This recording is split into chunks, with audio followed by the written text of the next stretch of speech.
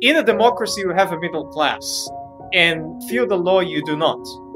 And that is a major difference because in order to have a free market that is substantial and encompassing and which can easily create wealth and abundance, you need a middle class.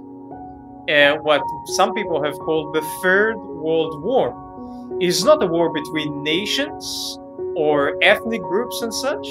It is a war between those who seek greater power and the rest of humanity. A war of corporations on the citizenry. This type of neo feudalism, as now suggested, requires the elimination of the middle class. And in my opinion, this is the main and the final goal. Now, people talk about a lot of other things which are co transpiring as the Great Reset advances. People talk about the technical issues, such as the elimination of cash or the uh, dubious medical experiments done onto uh, massive populations.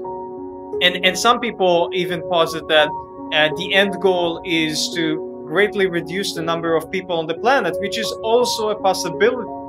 But at the end of the day, in my view, their goal is to enact neo feudalism.